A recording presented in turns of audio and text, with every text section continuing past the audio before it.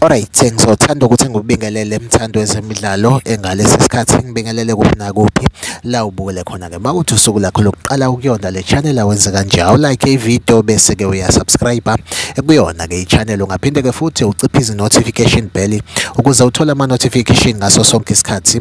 Uma kukhona-ke ividiyo esiyifakayo sikubhekele-ke nje ama-transfer rumours akhona-ke kuyona-ke i-betway premiership sobhekela laphana-ke kulona-ke iqembu elayo-ke i-Orlando Pirates-ke. Udaba-ke oselithe lavela i-Orlando Pirates kuthiwa-ke laphana-ke ingase-ke iphunyukwe umdlali-ke wayo-ke laphana-ke omushasha imsusa-ke kulona-ke iqembu. Lalo-ke futhi-ke ibhakabhaka laphana-ke kwi-reserve side. Umdlali-ke lo uMoha Nkota odlale kahle kakhulu laphana-ke eshaya i-brace kuyona-ke igame laphana-ke i-Orlando Pirates versus AmaZulu. Khumbula ukuthi-ke uMoha Nkota eke kwavela-ke indaba zokuthi-ke ufunwa iqembu laphesheya kwezilwandle-ke eBelgium laphana-ke i-Standard League. Standard League impela-ke kuthiwa-ke kumanje esesiphinde-ke futhi-ke sabuya-ke kuyona-ke i-Orlando Pirates-ke kuthiwa manje ayangena-ke ama-email ayangena-ke amakholi ekuwona-ke ama-ofisi alo-ke ibhakabhaka. Kufuneka yena-ke lo mdlali laphana-ke uMoha Nkota uMoha Nkota-ke bafethu-ke singakulindela ukuthi-ke ngoJanuwari